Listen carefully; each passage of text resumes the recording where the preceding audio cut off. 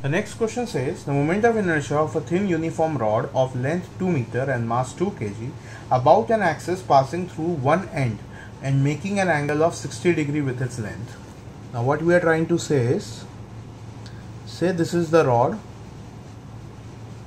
of length 2 meter. Let's mark it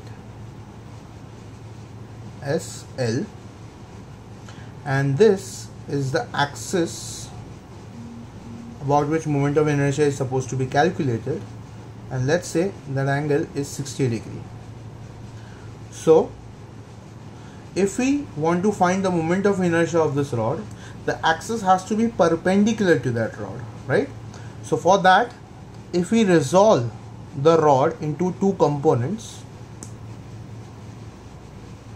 something like this saying the one component will be over here and the other component will be over here. So this part of the rod will be L cos 60 which is along the axis.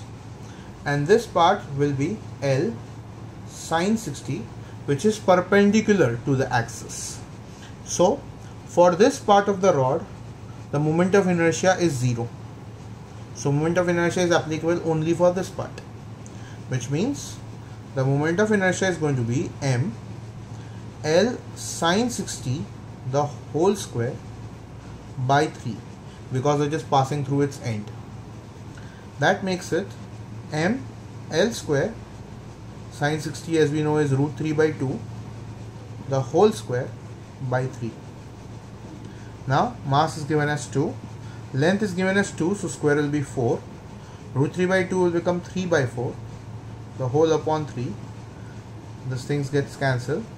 And so we get the final moment of inertia as 2 kg meter square